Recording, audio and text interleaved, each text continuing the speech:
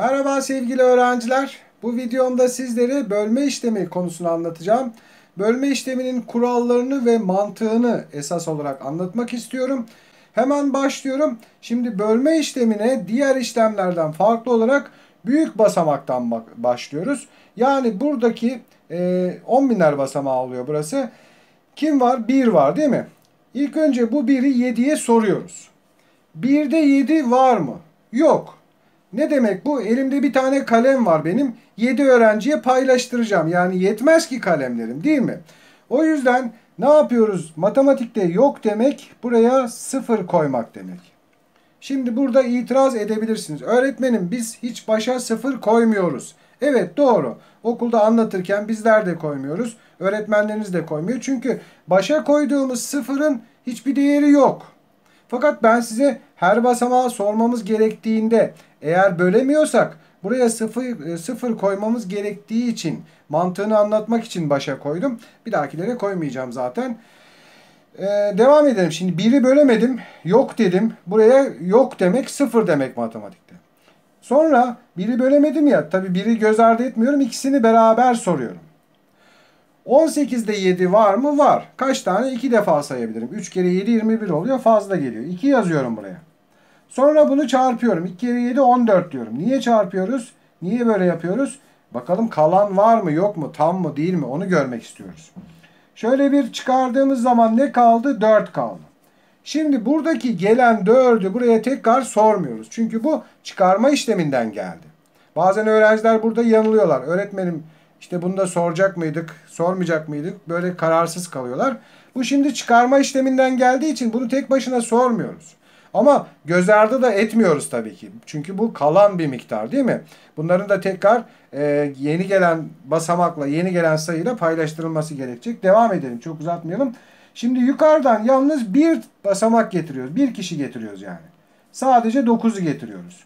9'u getirdiğimizde bu kalanla beraber burası 49 oldu. Şimdi 49'u 7'ye soruyoruz. Kaç defa var? 7 kere 7 49 çarpım tablosundan hatırladık.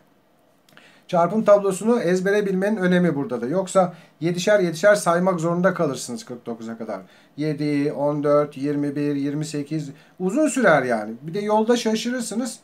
İşlem yanlış olur. Çarpım tablosu en iyisi. 7 kere 7 49. Bunu çarpım tablosundan hatırlıyorum. Çıkardım. Bu kez kalan yok. Bölme işlemi bitti mi? Bitmedi. Daha sormadığım iki kişi var burada. Yine ne yapıyorum? Tekrar bir kişi getiriyorum. 3'ü getiriyorum. 3'te 7 var mı? Yok. Bölemedim. Ne yapıyorum? Yoksa buraya 0 koyuyorum. Şurayı böyle biraz daha uzatayım. Evet. İşte bakın 0 koymanın mantığını size başta onun için koydum. Yani bir e, sayıyı, bir rakamı buraya bölemediysem yok demekse o zaman buraya 0 koymayı unutmayalım. Bunu söylemek istiyorum. Şimdi bu basamağı da sordum ya. Artık diğer basamağa geçiyorum. 5'i getiriyorum şimdi. Ve ikisi beraber ne oldu? 35. 35'te 7 kaç defa var? 5 defa var. 5 kere 7 35. İşte bu şekilde bölme işlemini bitirmiş oldum. Sormadığım sayı kalmadı. Hepsini sordum. Evet doğru bakın baştaki sıfırın bir değeri yok. Bunu ilk başta 1'de 7 yok dediğimizde buraya sıfır koymasak da oluyor. Ama ben mantığını göstermek için e, ilk başta böyle başladım. Şimdi iki basamaklı sayılarla bölme yaparken yani bölen iki basamaklıysa neler yapabiliriz? Şöyle ilk önce yine 4'ü soruyorum. 4'te 18 var mı? Yok. Tamam sıfır koymadan devam ediyoruz. İkisini beraber soruyoruz. 49 şey 44'te 18 kaç tane var? Şimdi burada öğrenciler 18 18 saymaya çalışıyorlar. Yani buna gerek yok. 18 en yakın kime yakın? 20'ye. 20 20 saysan yani tahminen bir e, tahmin etsen, bir tahminde bulunsan 20 20 daha 40. 3 tane 20 60 olur. Fazla gelir. Yani buraya 2 geleceğini buradan anlayabilirsin. Sonra bu 2'yi koyduktan sonra şimdi çarpacağız artık. 2 kere 8 16. 2 kere 1 2. Bir de elde 3 36.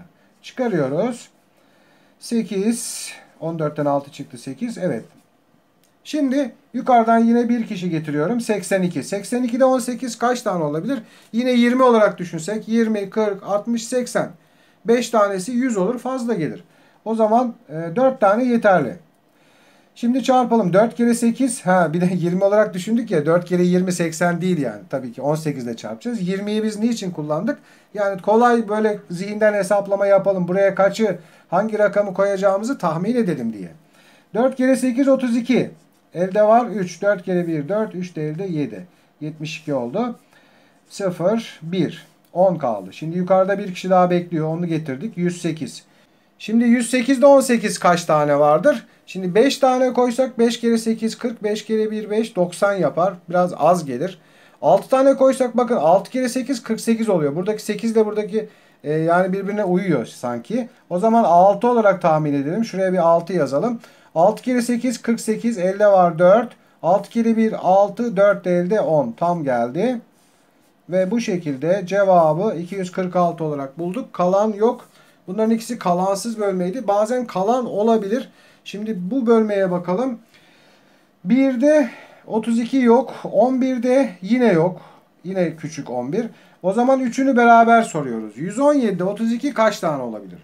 Yine 32'yi 30 gibi düşünsek 3 tane 30 90 eder. 4 tane 30 120 eder. 4 kere 3 12 çünkü fazla gelir. Zaten bunun fazlalığı da var.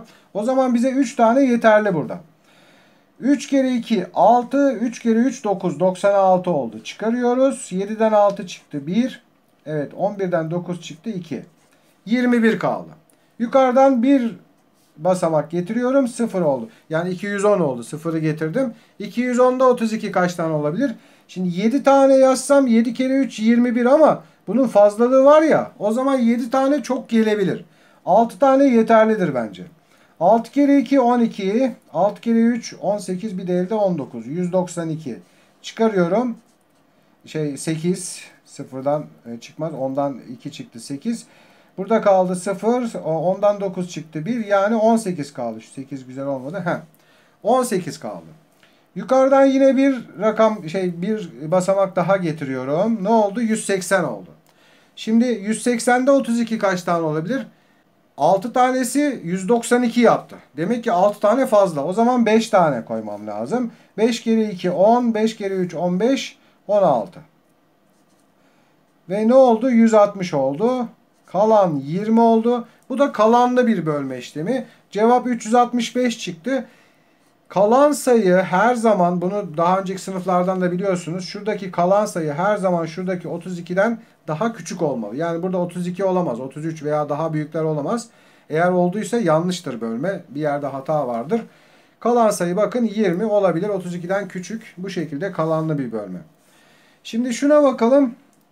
3'te 36 yok. 36'da 36 bir, da, bir defa var. Bir kere 36. 36 diyoruz. Yukarıdan ne yapmalıyım? Bir basamak getirmeliyim. 3'ü getirdim ve bu getirdiğimi sormak zorundayım. 3'te 36 var mı? Yok. O zaman buraya 0 koydum. E, şimdi bir kişi daha getirdim. 36'da 36 bir kere var. Bir kere 36. 36. Yine bir kişi getirdim. 3'te 36 yok. Yine bir 0 koydum. Şimdi diğer kişiyi getirdim. 36'da 36 bir kere var. Yani bu bölmenin sonucu 10.101 çıktı. Aradaki sıfırları koymayı unutmayın sakın. Bu buradaki bölme birazdan harflerle bölme göstereceğim. Bunun örneği aslında. Biraz şu sayfada göreceksiniz. Yani şuradaki gibi olacak. Onu da birazdan göstereceğim. Fakat ilk önce şu 3 basamaklı sayılara nasıl böleceğiz? Şöyle 1'de 324 yok. 13'te yok. 132'de yine yok. 4'ünü birden soruyoruz. 1328'de 324 kaç tane var? Şimdi burada 324'ü yine 300 olarak düşünüp 300, 600, 900, 1200 böyle sayabilirsiniz. Bir tane daha sayarsanız 1500 oluyor. Buradaki sayıyı geçmiş oluyorsunuz. Olmuyor. Fazla geliyor. O zaman 4 tane olduğunu tahmin edersiniz. 4 kere 4 16. 4 kere 2 8 bir de elde 9. 4 kere 3 12 yazdık. Çıkarıyoruz. 2 3 Evet.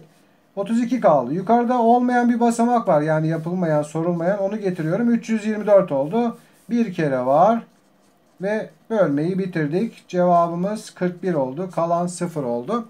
Şimdi harflerle bölme bazen sınavlarda karşınıza çıkabilir. Çeşitli yardımcı kaynaklarda. Nasıl olacak? Aynı sayılar gibi. Hani az önce vardı ya 36 36 işte. Bunu şöyle düşünebilirsiniz yine az önceki gibi. 30 hani böyle bir sayı vardı ya aslında 363.636 da ben 36 36 36 diyorum.